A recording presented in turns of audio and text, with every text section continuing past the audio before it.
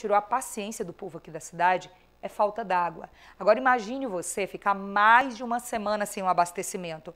É por essa situação que estão passando moradores da Vila JK. Nós temos imagens que a produção vai colocar agora na tela de um caminhão do Corpo de Bombeiros. Valéria, por que, que esse caminhão teve que ser chamado?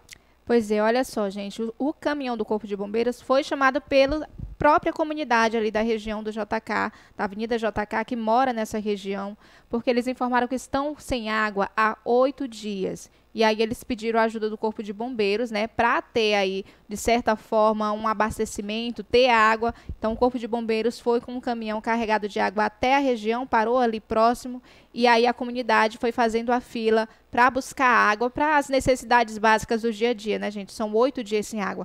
Ontem a gente falou sobre falta de água lá no bairro Cinco Irmãos, que já dura aí é, uma semana. E também noticiamos falta de água na Vila Redenção, Redenção, perdão, que segundo a comunidade de lá já dura 15 dias. Nesses casos a gente entrou em contato com a CAEMA, a CAEMA é, emitiu uma nota ontem para a gente falando sobre a situação, disse que iria mandar uma equipe até o bairro Cinco Irmãos e falou que no caso da Vila Redenção era devido a um vazamento de água e que equipes também já estavam destacadas para resolver a situação. Nesse caso da JK, a CAEMA informou que vai apurar aí o caso, apurar a situação para descobrir o que está causando a falta de água. Gente, absurdo demais. Além desse ponto, Valéria, vamos elencar a Vila Redenção, Hoje mesmo eu conversei com um morador da Vila Redenção que disse, inclusive, que lá a falta d'água já dura duas semanas. Ele já fez a reclamação formal. Ele disse que foi à sede da CAEMA e nenhuma explicação foi dada e não tem abastecimento.